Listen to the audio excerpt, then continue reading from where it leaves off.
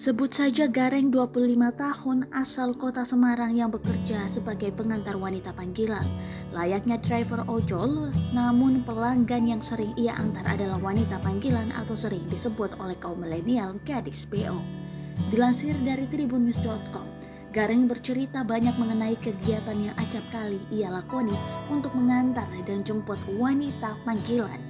Menurut Gareng, bukan karena cuan atau untuk mendapatkan uang ia melakukan kegiatan tersebut. Sebenarnya bukan untuk mendapatkan cuan juga karena saya tidak pernah mematok tarif saat dimintai mengantar wanita-wanita itu.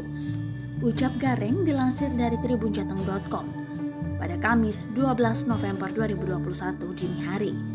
Gareng mengatakan karena memiliki kedekatan dengan beberapa wanita panggilan membuatnya mau mengantar dan menjemput mereka. Sudah seperti teman sendiri, ada yang sudah lama kenal juga katanya.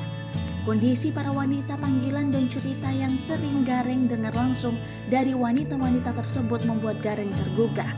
Ia merasa kasihan dengan kondisi para wanita tersebut.